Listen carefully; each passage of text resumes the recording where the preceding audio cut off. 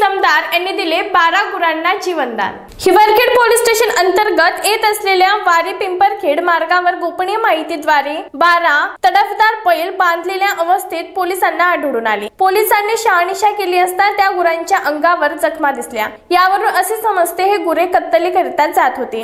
ही कारवाई बारा जानेवारीच्या सकाळी करण्यात आली. विशेषतः म्हणजे वारी पिंपरखेड हा मार्ग पोलीस स्टेशन जवळून तब्बल वीस किलोमीटर अंतरावर आहे. या वीस किलोमीटर अंतरावर अंतरावरून ठाणेदार धीरज चव्हाण व हिवरखेड बीट जमदार सोळंके यांनी हे बारा गुरे पायी चालत आणले. ठाणेदार हे नेहमी सकाळ संध्याकाळ वॉकिंग करतात. कधी सायकलने तर कधी पायी जातात. त्यांच्या अशा कामगिरीने मोठमोठ्या कारवायांना आळा बसत आहे. या अगोदर त्यांनी दोन जुगारांना कारवाई केली होती ती सुद्धा कारवाई वेश बदलून सायकलने जाऊन केली होती. त्या कारवाईने मोठ्या दिग्जांवर गुन्हे दाखल केले होते.